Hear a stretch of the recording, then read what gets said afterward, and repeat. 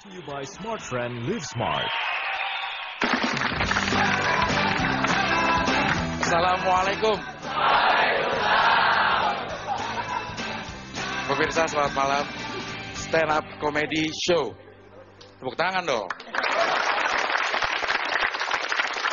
Masa harus disuruh udah pada gede. Ya, stand up comedy show ini eh, ini namanya neon sign-nya nih. Apa apa ya namanya? Ini saya bawa sendiri memang dari rumah karena tadi sebelum eh, penampilan saya ini masih belum begini. Ya, saya memang udah modal, jadi kalau saya ngomong lucu nggak lucu ketawa aja nanti ya.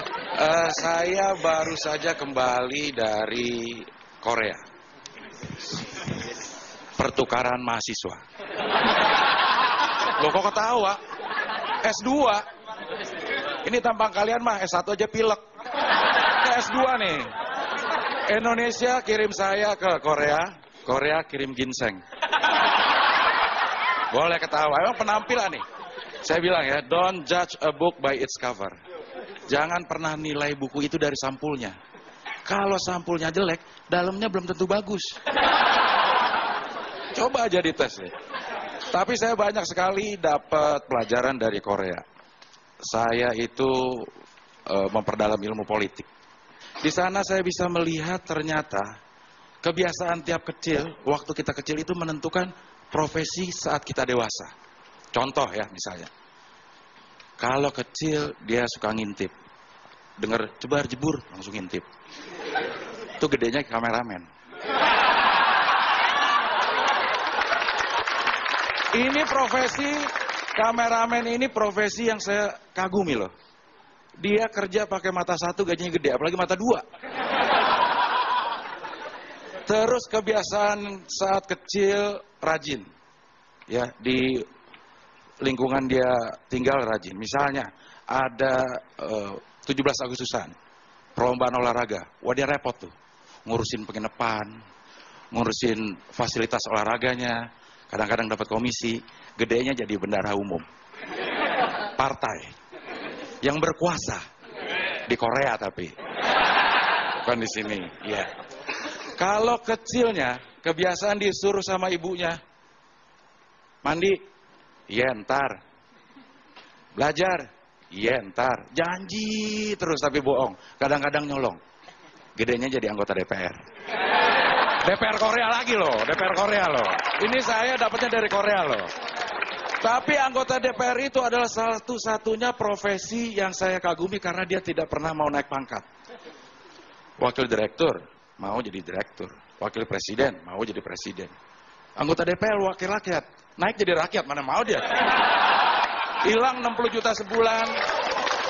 Ada satu lagi yang saya baru tahu bahwa kebiasaan ini bisa menentukan juga saat kita dewasa. Kecilnya bulan Ramadan nih, puasa senang main sama teman-temannya, main kembang api, wah lari ke sana kemari. Tapi giliran temannya main petasan, dia pulang. Gedenya presiden tuh dia. Presiden Korea juga loh.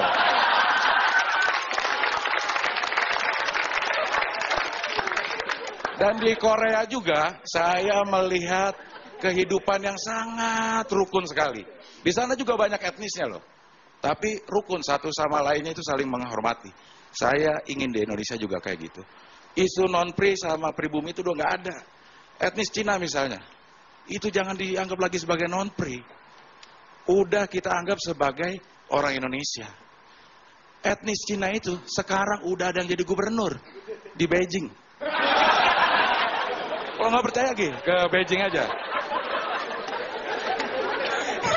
Satu lagi yang saya eh, diskusi dengan teman-teman di Korea. Iya karena saya ke Korea. Masa Korea tahu-tahu saya di Tunjungan. Perguruan tinggi yang paling kasihan deh loh. Menurut gua adalah UGM.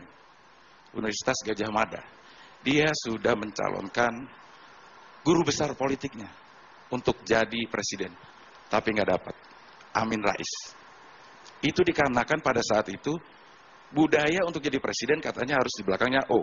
Soekarno, Soeharto. Loh kalau Amin Rais ditambahin O, Amin Raiso. Sampai kapan juga dia nggak bakal jadi presiden.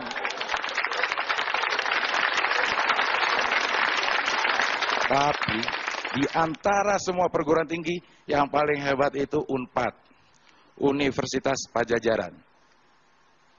DO semester 2 jadi presiden, Megawati. Kalau lo mau jadi presiden, kuliah di UNPAD. Tapi lo harus jadi anak presiden. Baru bisa. Ya. Dan di Korea juga, saya mendapatkan ilmu untuk menilai cewek. Dari cara duduknya. Maaf ya, mbak ini. Yang duduknya begini. Itu adalah tipe cewek protektif. Artinya melindungi propertinya. Dompetnya mungkin di situ ya. Iya, dia jadi ntar diambil orang lagi ya kan. Lalu cewek mana ya? Di belakangnya tuh sedikit yang agak terbuka begini.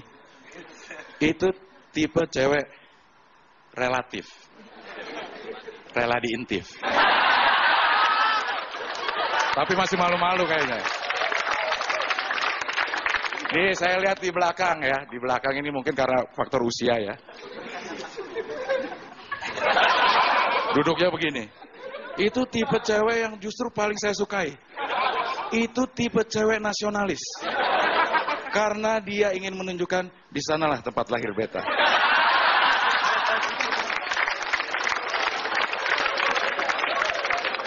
Dan saya senang sekali ini memang Metro TV oke banget lah. Ini me, tempat duduknya juga udah pas. Yang cantik-cantik di belakang. Yang ganteng-ganteng di depan, yang jelek nyebar. Saya juga pernah di Korea juga ini. Sep Bosan di Korea atau saya pindah aja nih? Hah? Pindah ya? Mau negara mana? Saya sering loh pertukaran pelajar loh. Mau negara mana? Mau negara mana? Di Australia. Saya di, lama di Melbourne. Ini mau di Australia, ini mau di mana? Padang. Padang mah bukan di luar negeri. Nah ini orang Padang nih. Orang Padang itu kenapa dibilang pelit? Itu salah dia sendiri. Coba lo jalan ke Ben Hill. Di situ ada restoran Bundo Kanduang. Makan, tetap ditagih loh. Padahal kan kandung loh. Apalagi Bundo angkat.